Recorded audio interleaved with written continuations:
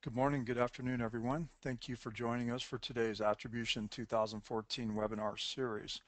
This is installment number one of a five webinar series establishing your game plan. A few administrative items before we get started. Everyone should be in listen-only mode. Um, however, we do encourage you to submit questions via the chat box, and we've saved some time at the end to address those questions.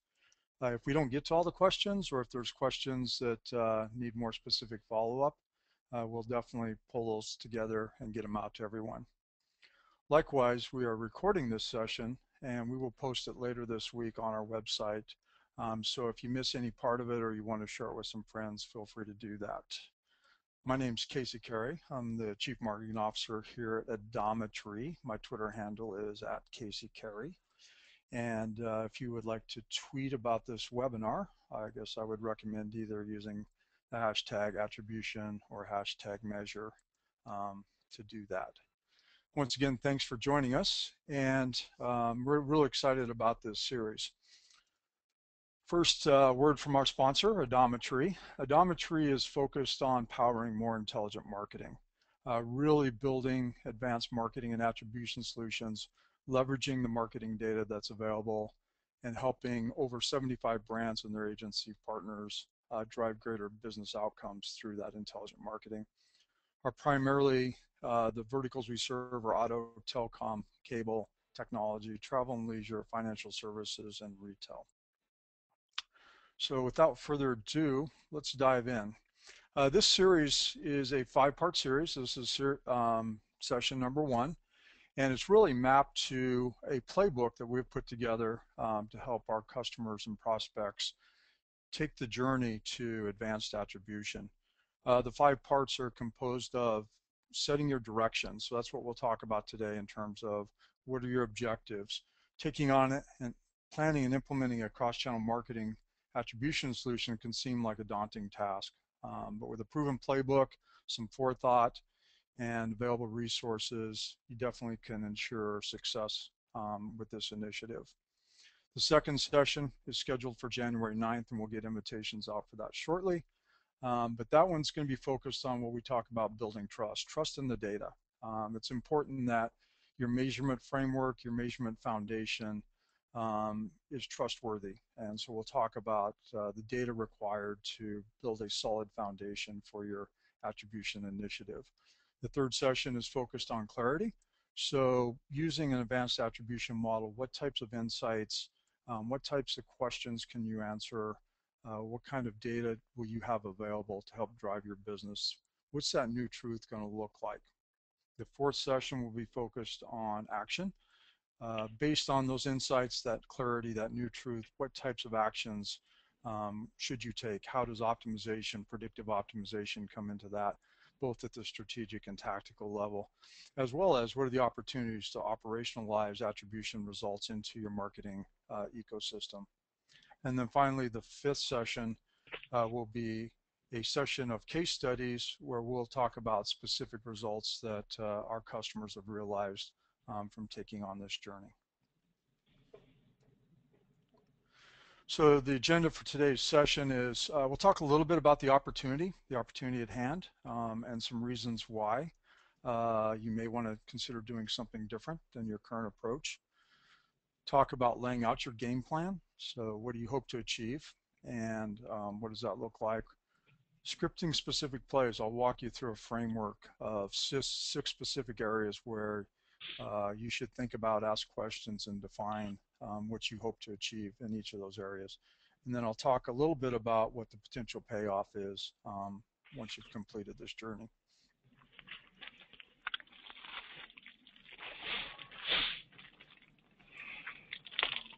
If uh, sounds like somebody's not on mute, if everybody could please make sure you're on mute, that would be great. Thank you. Uh, so quickly, a bit about me. Uh, for the last 20 years, I've had a passionate pursuit of making marketing better um, whether that's through technology, data, services, processes, etc. Excited to be here at Adometry. Um, great company with great people and even more so getting a chance to work with some great brands and some great agencies and, and kind of continuing this this passion and journey of mine around um, improving marketing.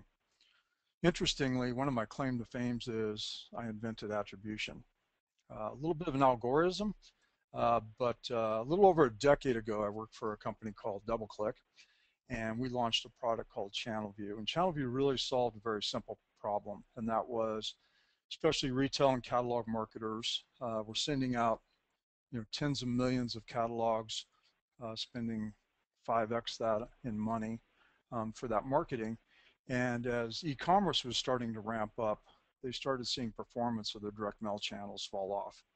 Uh, of course, it was channel shift in most cases. Um, people now getting catalogs and going to e-commerce sites and buying things, but they really couldn't understand the relationship between uh, the marketing event and the response event. So ChannelView was designed to simply match back catalog mail files to e-commerce transaction files and do the analysis as to which e-commerce transactions were actually directly driven from uh, the catalog which really is a microcosm of a much more complex problem today um, as we look at attribution.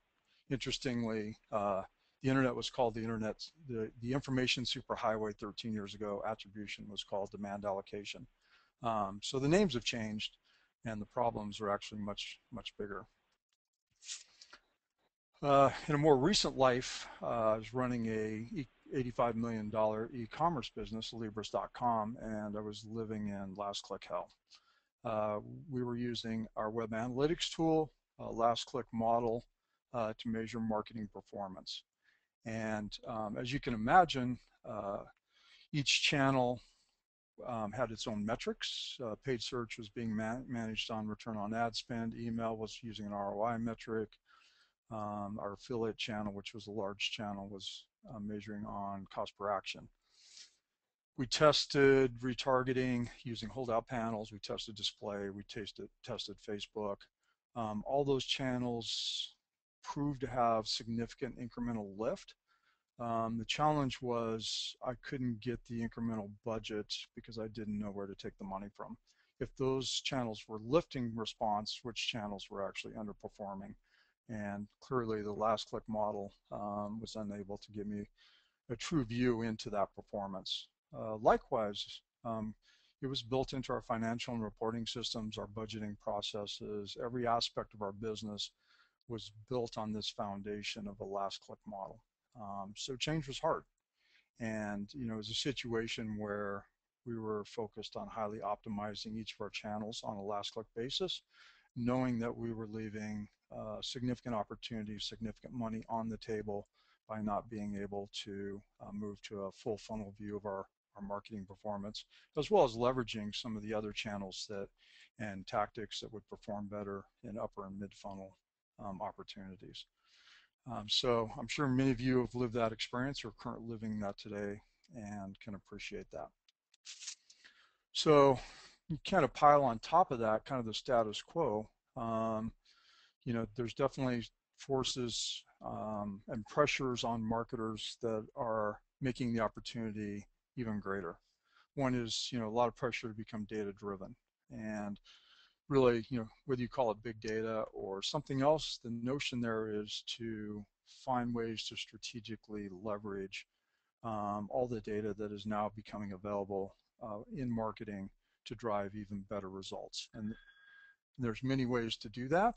Um, but uh, you know, many organizations are now looking this as a strategic opportunity to create a competitive advantage. At the same time, we want to understand the customer journey, but it's becoming much more complex. Uh, not only are there more channels to deal with, um, adding kind of mobile and social to the mix, along with the traditional digital channels and offline channels, um, but also now the way consumers are actually interacting with those channels, being less channel centric, um, using multiple channels along the journey um, is becoming much more challenging. Kind of pile on top of that uh, now the adoption of mobile tablet technology. So not only are they using multiple channels, they're using multiple devices on that journey.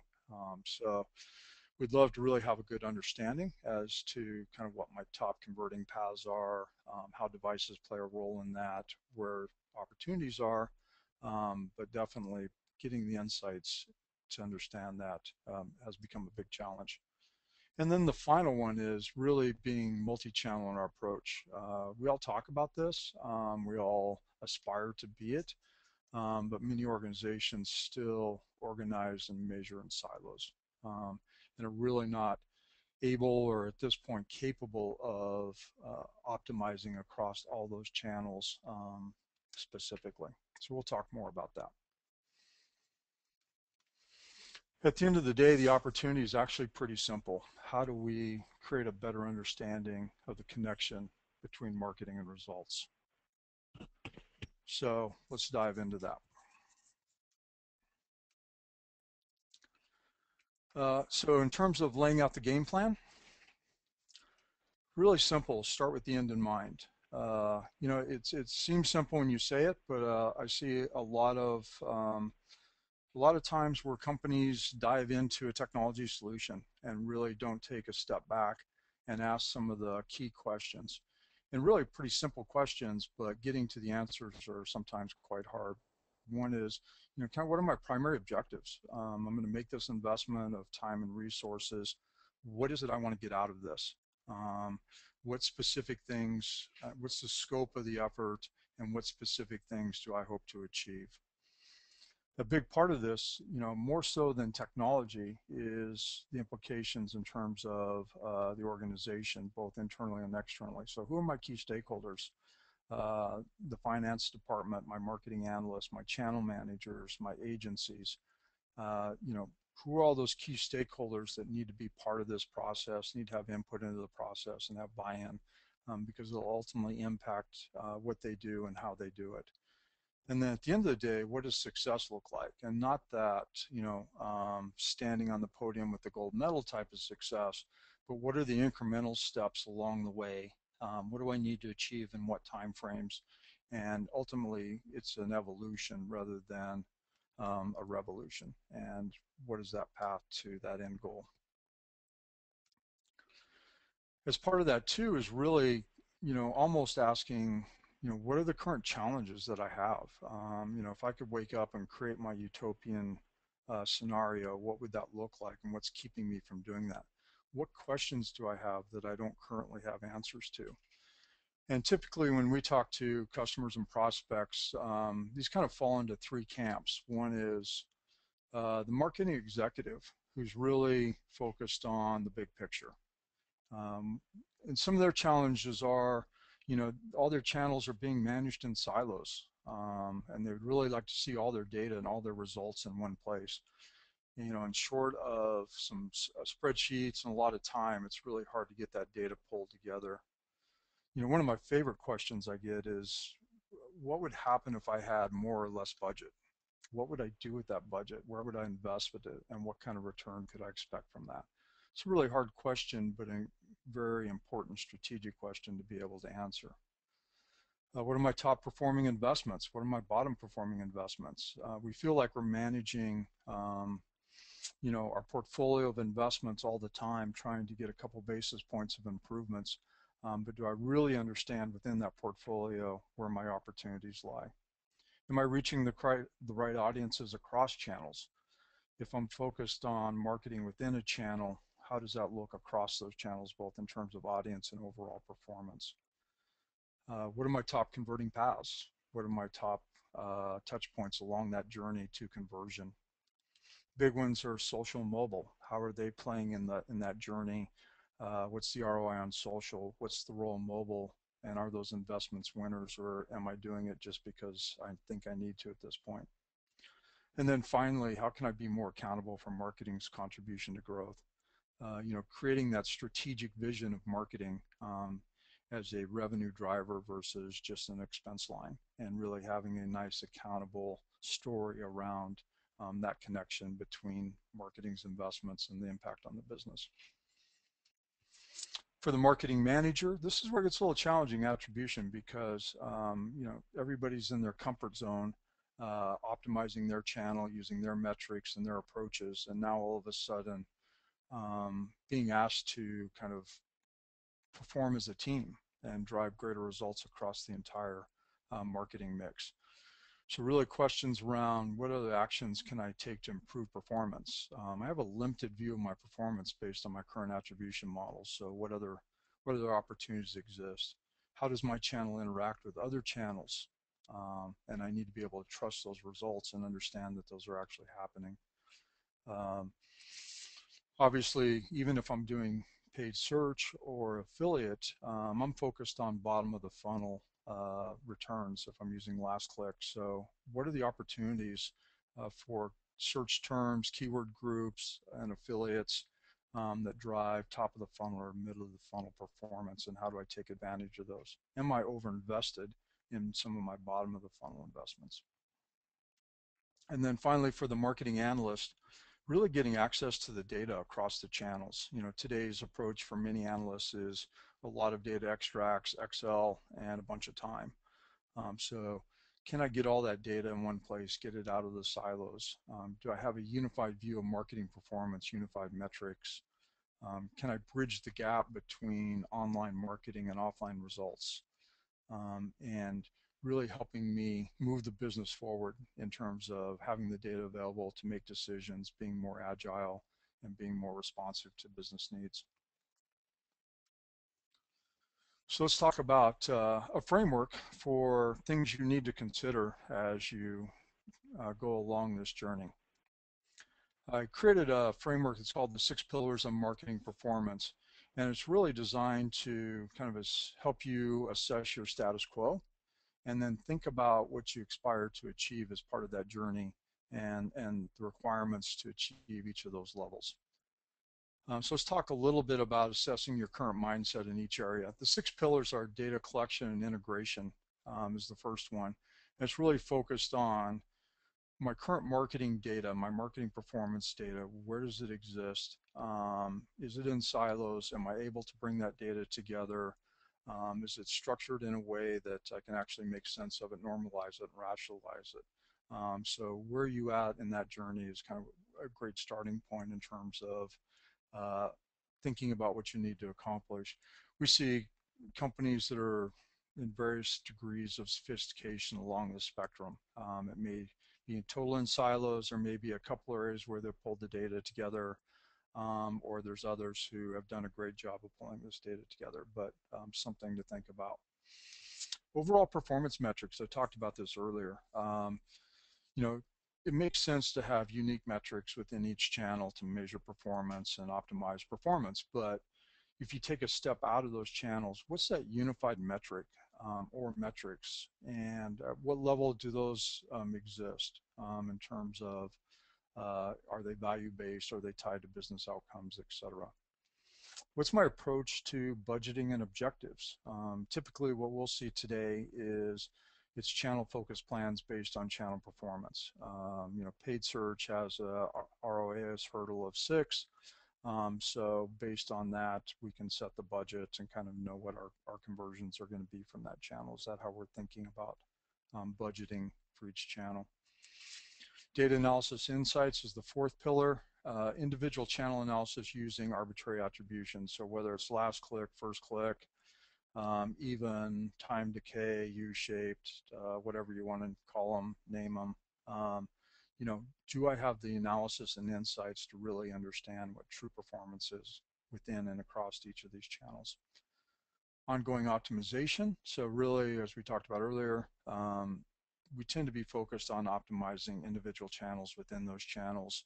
Uh, when I was at Alibris, if we got a couple basis points of improvement on any one channel, you know, we were slapping high fives and going out to lunch. Um, really, most companies are in this kind of this state, this current mindset, uh, of really hit diminishing returns within each channel um, from an optimization perspective. And then really from a, an adoption and operationalization standpoint, um, they've hit the wall. Um, kind of increasing maturity and sophistication is not a priority, right? We've hit diminishing returns. Um, we're hoping that other new products or other things can help lift performance. Um, obviously, we got to continue to work hard within our existing channels. Google's changing the rules all the time. There's new competitors. There's new ad formats. So the world we live in is very dynamic and we have to continue to manage that actually just to stay even. Um, but really that's where we're at.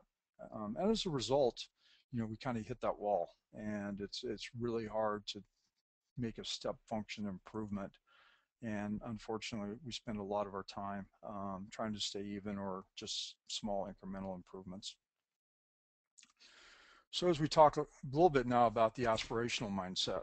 So, you know, there's varying degrees uh, that uh, you can aspire here. Um, and I wouldn't advocate, you know, kind of going for uh, touchdowns in every one of those six pillars, but really think about moving the ball forward in, in at least multiple areas um, to have an impact on the business.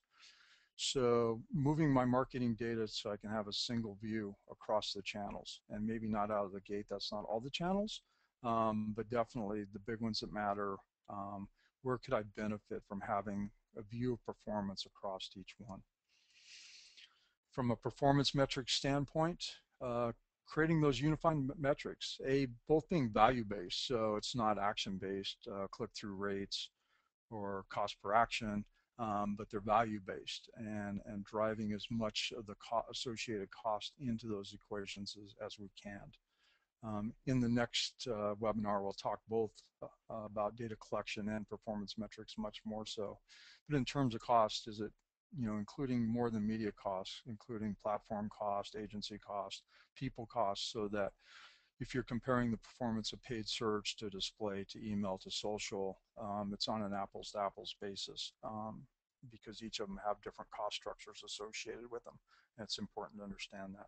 And ultimately making sure you have a clear line of sight from your business goals, your business outcomes to the metrics that you've defined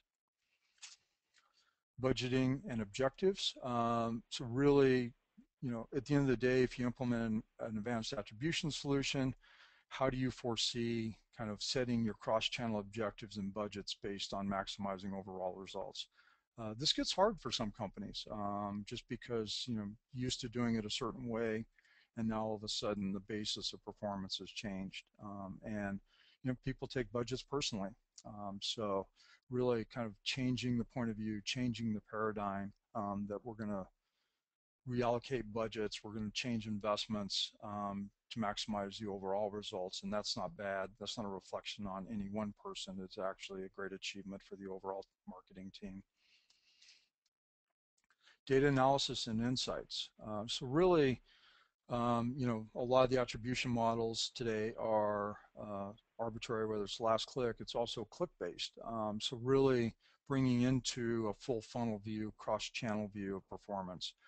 Uh, so I want to bring impressions, I want to have viewability in that, do I want to break out videos as a separate one, how am I going to treat social, um, do I care about uh, natural search or direct nav as part of that, um, what about offline channels such as direct mail, and what conversion data do I want to bring in? Is it online only? Do I have soft conversions, firm conversions, or hard conversions? Do I want to um, consider lifetime value or other aspects as, as part of that conversion data? So really bringing a much richer view of data um, together to understand and have those analysis and insights. And it's even more than um, how each channel is performing, but it's within that channel and its sub-channels. So it may be um, ad groups within paid search. It's down to the creative level, placement level, site and network level. So, you know, the analysis is much more than um, who gets credit for what, but it's actually really finding out at a granular level what's working and what's not working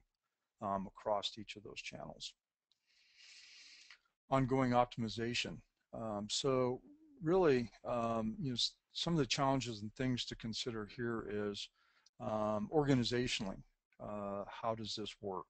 I've seen organizations bring in an, an, advanced attribution solution and really not able to take advantage of it for various reasons. Um, it's a it's an organizational change management problem as much as a technology problem. Um, so you know, going to it with a clear view in terms of if we have these results, um, how are we going to use that to drive decisions within channels? How are we going to change what we do, what media we purchase, our strategies and tactics, the timing and flighting of placements, etc. So, um, and this includes uh, your agency partners as part of that overall conversation.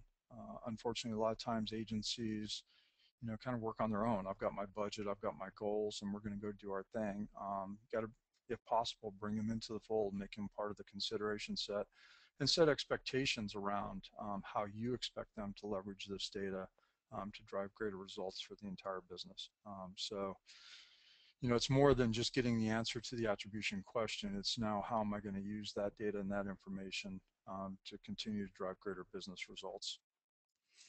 And then finally, um, this becoming a key component of marketing strategy. So really creating uh, a growth opportunity, a competitive differentiation by making this fully adopted and fully operational, integrating the results into your ecosystem, pushing attribution results into your pro programmatic platforms to have more accurate bids on um, on display or search terms um, leveraging the information with your agencies to make sure they're driving greater performance, working with your finance department to redefine marketing metrics and marketing success to help driving the budgeting process.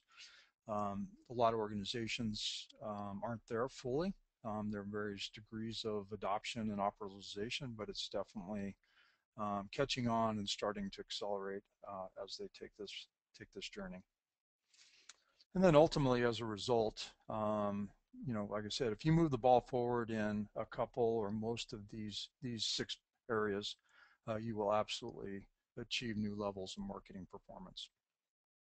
So let's talk about that specifically, the potential payoff.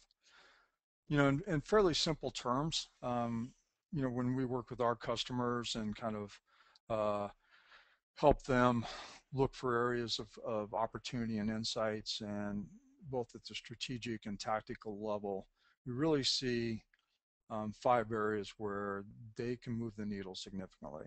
Uh, the first one is around display. Uh, we really see two things around display. Uh, one is companies are focused on bottom, bottom of the funnel uh, marketing because they're using last click and you kind of are what you measure.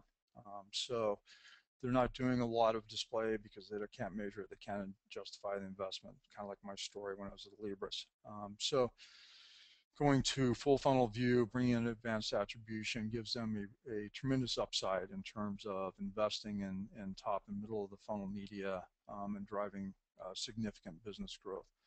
The other side of the coin that we see around display is uh, people are doing a lot of display um, but are not really able to fully understand or measure the impact of it on, on their key metrics.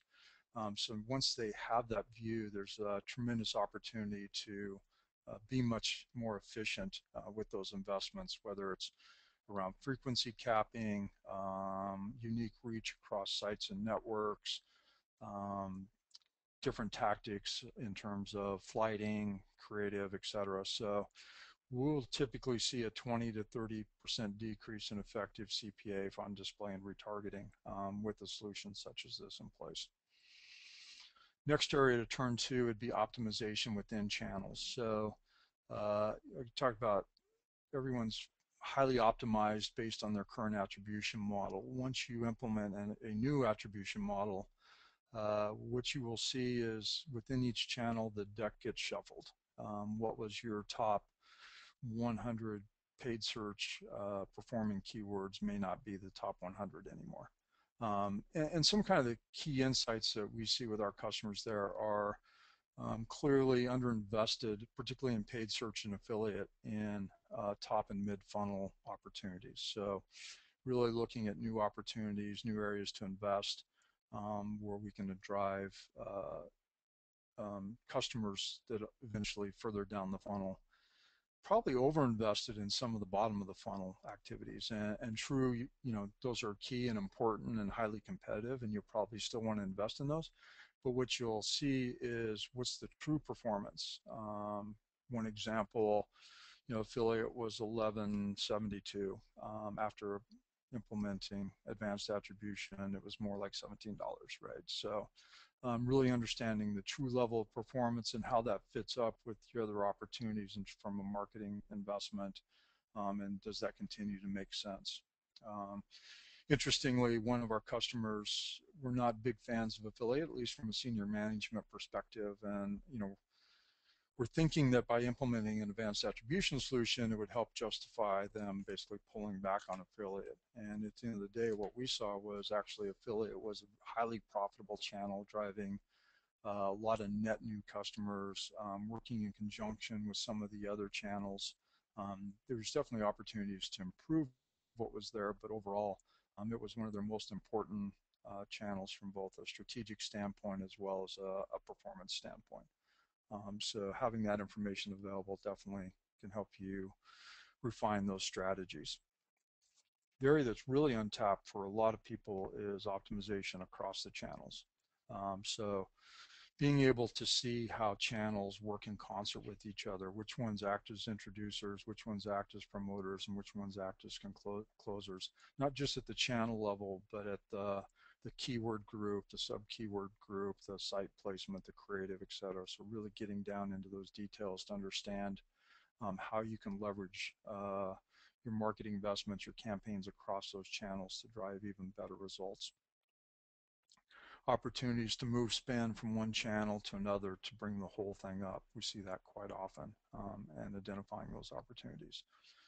The fourth area is reduction in analysis and reporting costs. Uh, pretty simply having all your data um, pulled together, having that consistent reporting, having data that you can trust and report on um, takes a lot of the time and effort of doing those extracts and working in, Excel and doing the analysis on a monthly basis. So really kind of bring making that information readily available. So rather than doing the work, you can spend the time getting the insights and, and taking action. And then finally, driving overall marketing uh, ROI. You know, definitely wins across each one of these areas. Um, some low-hanging fruit, some other stuff longer term. Um, it's and for most businesses, it's a fairly dynamic environment um, from a competitive standpoint, from a market standpoint, from a technology standpoint. So it's a process of uh, new insights, um, take some actions, test them, what's the improvement, next rev, keep iterating and keep driving improve, improve performance over time. Um, but typically, uh, we'll see on average a 20 to 40% opportunity in overall improvement of marketing ROI uh, through this process. So key takeaways, uh, simply clearly define your objectives and scope. So assess each pillar of the model that I put together. Um, think about what's your aspired level. Reasonably, you know, where would you like to be and in what time frame? Super important to ask yourself what barriers are going to keep you from achieving that. Um, can your organization uh, go through the change process associated um, with this? do you have an executive sponsor who's going to support it? Do you have the necessary buy-in from all the stakeholders? You know, really looking at it as a change management um, initiative as much as a technology and analytics um, initiative is important. And then what's the roadmap that makes sense? Um, how do you establish some easy upfront wins um, over time? What else do you want to do? So what channels do you start with? What conversion events are important to you? How do you want to bring those in? Do you want to up your level of sophistication in terms of uh, value-based KPIs, um, adding additional channels, um, more granularity on your analysis, um, etc. Once you have a good understanding of that, uh, take a take a shot at a business case um, for the investment. What improvements would you think are likely? Um, you know, we, like I said, we see on typical 20 to 40 percent on average. Um, those are big numbers. Um, so really, you know, if you cut that in half and cut it in half again, uh, you'll probably make a pretty solid business case to taking on an initiative like this. And then think, obviously thinking about the cost associated. So it's just not, you know, the technology and or vendor cost. Um, you know, there's internal um, expenses associated, um, ongoing support. Like I said, it's not a one and done. It's a it's an ongoing capability and activity. So making sure you're bake, baking that in as part of it. So with that, I'm going to go ahead and take a look at the questions. Looks like we have about seven minutes left, so we'll be able to get to a few of these. Okay, cool. Uh, looks like we have a couple. Um, so the first one's question I hear quite often. Um, and once again, if you have a question, feel free to put it into uh, the chat box there. Um, question is, do you recommend starting with only a couple channels and building from there? Uh, definitely get this question quite often. And typically what we'll see is people, you know, they see the low-hanging fruit near-term opportunity as um, really getting a view into the impact in the interplay between display and search. So they want to start with display and search. Um, not a bad idea, um, but honestly, you know, it's it's uh, a little bit of a short step. Um, it's not much harder uh, to bring in uh, your paid search, your natural search, your, your, direct nav, your email, your social referrals, etc. To really, because those channels are actually going to impact display and search as well. Um, so kind of having that two-channel view really doesn't add that much. It helps you justify and improve your overall display. Um, but if you want to get kind of that next level, I would suggest bringing in all your primary digital channels as a good starting point. Um, next question is, uh, how does this apply to CPG and other non-response type verticals? Uh, great question. You know, a lot of our customers are response oriented, and I always use the phrase, uh, they have access to fairly high value conversion events. Because um, obviously back to the opportunity was tying marketing to results, right? So you need to have access to those results. Uh, CPG obviously represents a, a, bit of a challenge in that. So does uh, some of the brand manufacturers um, because they don't have access to the true transaction data. Uh, a lot of them will use uh, what I would call kind of soft or firm conversion events. So coupon downloads, store locators, um, you know, uh, recipe downloads, subscriptions, things like that as proxies for conversions. Um, but frankly, you know, not having that re response data that drives high value makes this a bit of a challenged value proposition.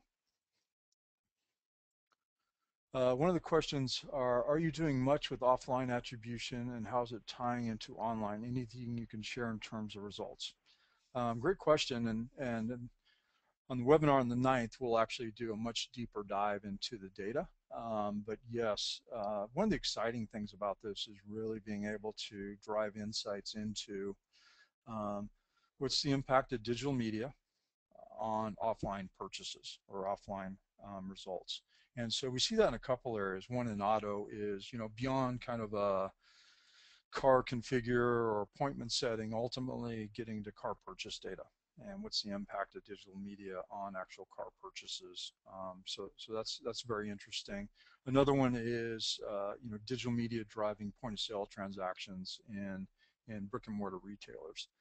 And in one example, we're seeing about, on average, 8 to 12% of store transactions are attributed to digital media and uh, really giving them insights in terms of uh, display and which display sites um, act as introducers, promoters, and converters from a point of sale brick and mortar transaction standpoint. Um, so, so very interesting insights there. The other side of that coin then is um, bringing in direct mail into a digital attribution model, treating it as uh, basically an impression channel. A lot of our customers are specialty retailers. Um, they're still mailing catalogs. It's a big part of their overall marketing strategy. And being able to, you know, show them the role of that catalog um, in the customer journey and, and how it plays in that in conjunction with the other media or by itself um, has provided some great insights and some great value for those customers. And then, um, you know, the last question I have here, and then we'll and then we'll wrap it up. Is I get this question a lot. It's uh, you know we're very bottom of the funnel funnel focused. Um, so you know, last click seems to work for us, and you know, really to question the value of anything other than a last click model because they're there to swoop in at the last second and bring people to their site and convert them, you know, and true, I, I totally understand that. It's an important aspect of, of a lot of online marketers and they've gotten very, very good at it. And, you know, it's, it's a definitely a game of uh, who, who can be last. Um, you know, kind of a couple areas that we've seen with our customers there, one is true.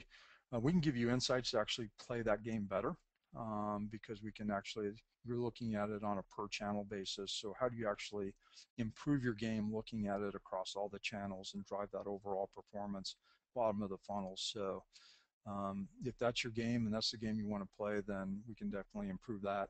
But the other opportunity, obviously, then is the growth opportunities in the top of the funnel and mid-funnel media that um, currently are going unexploited.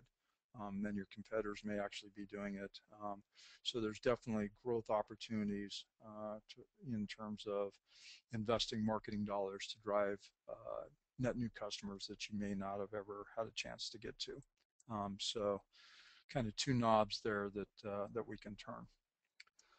Um, so with that, I would like to just take a second and thank you for your time. Uh, the next webinar, as I mentioned, is building a data foundation uh, for marketing performance. So we'll do a deep dive on um, all the aspects of the data required to do advanced attribution, um, talking about the, the, marketing touch points, the conversion data, the cost and reference data, audience data, et cetera, and offline data um, that you want to be able to try and pull together uh, to do this. So thank you for your time today. I hope you found it uh, useful, and uh, we'll talk to you on Thursday, January 9th. Have a great, safe holiday season.